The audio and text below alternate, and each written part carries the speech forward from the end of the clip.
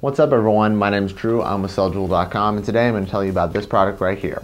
This is the micro USB MHL to HDMI 11 pin adapter. It's a great product and I'm going to tell you just a little bit about it.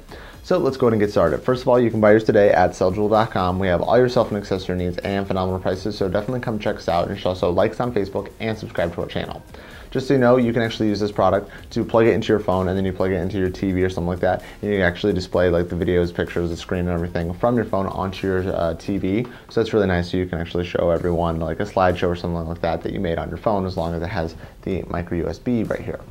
Um, it's really awesome because it does a couple it does a lot of cool has that really awesome feature. Um, it's a great price and so you should definitely go ahead and buy it today at celljewel.com